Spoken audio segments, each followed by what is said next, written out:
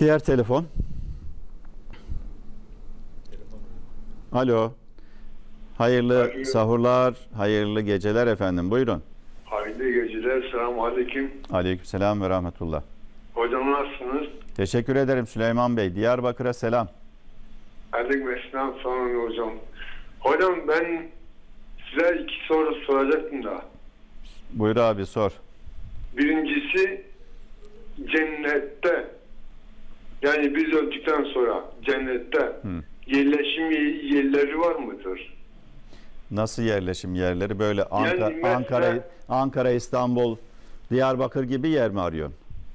Yani şöyle söyleyeyim hocam. Mesela burada misafirliğe gidiyoruz ya. Evet.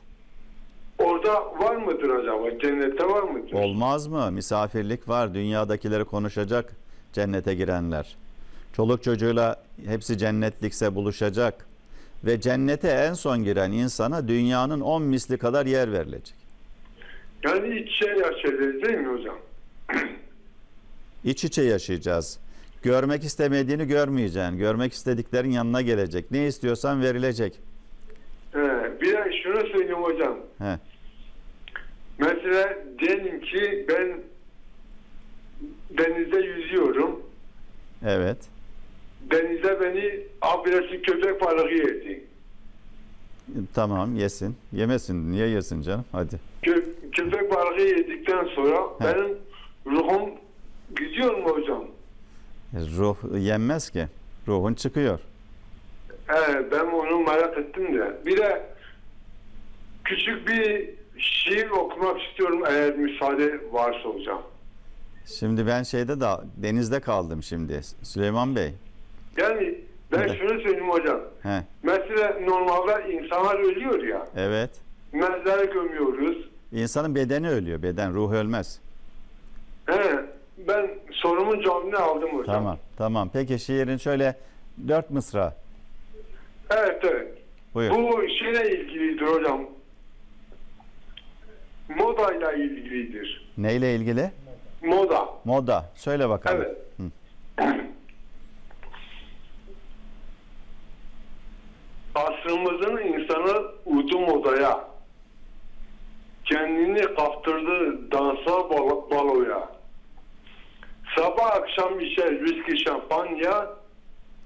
Medeni olacakmış iş, içmekle güya.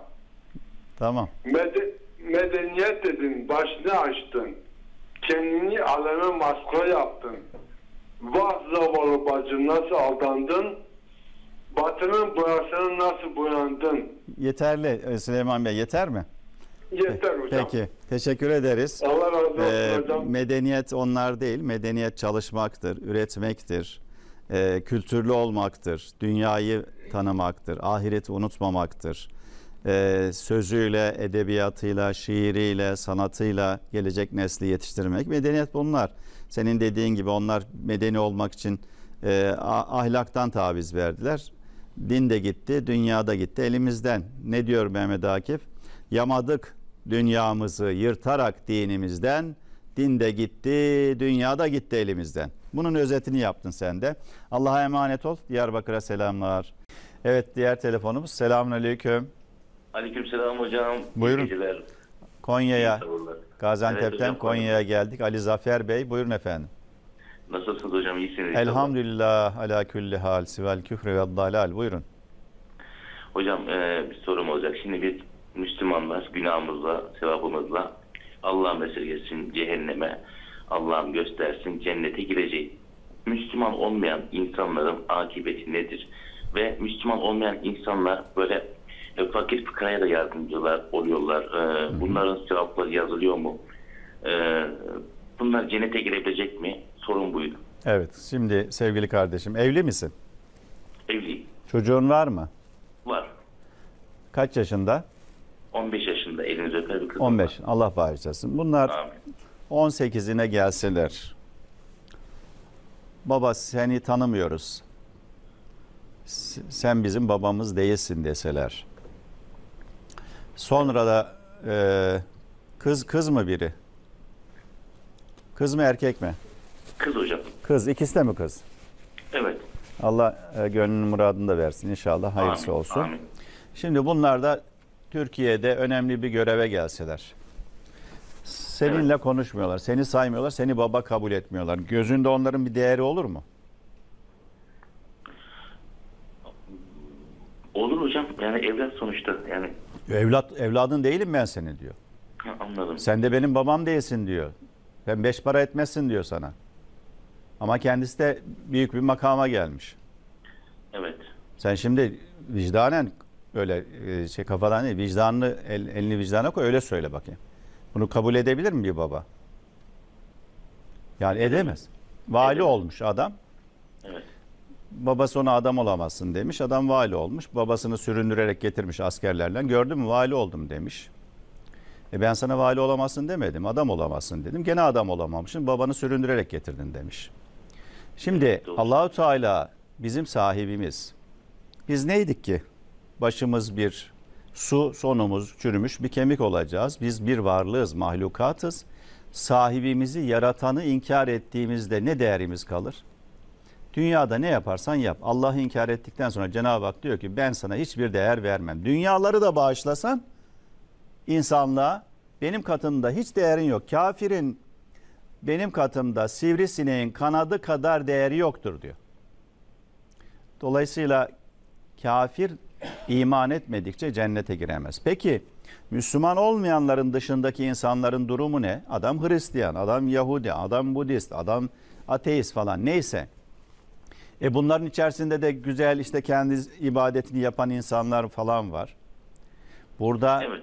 burada din Allah'ın dini İslam'dır. Bütün dinlerin ismi İslam'dır. Onlar bozulmuş, tahrif edilmiş. Daha sonra en son İslam gelmiş. Hristiyan içerisinde kendisinin Müslümanlıktan haberi yok. İslam'ı duymamış, peygamberi duymamış. Çok uzak bir batı ülkesinde yaşamış, ölmüş, gitmiş bir adam. Ne peygamber duymuş İslam diye, ne Kur'an duymuş.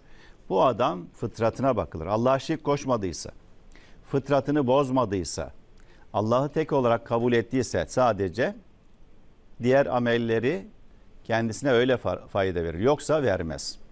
Dağ başında yetişen bir insana ehli sünnet vel cemaat maturidi akaidine göre hüküm, hüküm şudur.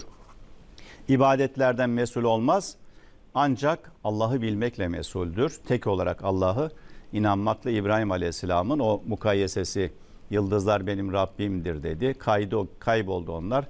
Ay benim Rabbim olmalı dedi. O da kaybolunca daha büyük güneşmiş dedi. O olabilir. Güneş de batınca bunların hepsini yaratan bir Rab olmalı diye. İnsanın fıtratında ve aklında bu ilah, Tanrı, Allah kavramını Cenab-ı Hak içimize koymuş. Ve bunu bozmamak, fıtratını korumak şekliyle dürüst kalan insanların İslam'dan da haberi yok ama kendisi insanlığını bozmamışsa amelleri boşa gitmez. Ama İslam'dan haberi olmuşsa, Müslümanlık kendisine tebliğ edilmişse son din olan peygamberi kabul etmek ve İslam'ı kabul etmek durumundadır. Çünkü o halkaya ulaşmıştır artık. Ölçü bu kardeşim. Anladım Daha hocam. da geniş daha da şey geniş beni hocam. beni izledikçe daha da geniş cevapları var. Şimdi çünkü çok uzayacak mesele. Ee, başka boyutları da var. Onları da zaman zaman anlatıyorum. Evet hocam az önce bir şey söylemiştiniz. Dağ başında olan bir insan İslam'dan haberi yoktur mesela. Evet. Ee, O tür bir şey söylediniz. Yani bu Müslüman olmayan kişiler e, peygamber o kadar peygamber efendilerimiz gelmiş e, dünyaya.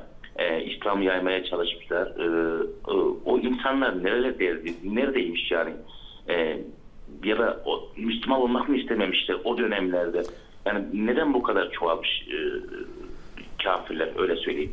Ya kafir de var, inananlar da var. Her devirde peygamberlerin ümmetleri de olmuş. İnananları da inkar edenler. de. İman küfür savaşı devam edecek kıyamete kadar. Bu bir imtihandır zaten.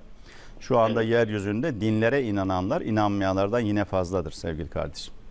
Allah razı olsun hocam. Çok Hayırlı sahurlar. Allah'a emanet ol. Sağ olun. Herkese selamlar. Çok Allah hocam. razı olsun. Daha fazla video izlemek için kanalımıza abone olabilir, ilk izleyen olmak isterseniz bildirimleri açabilirsiniz.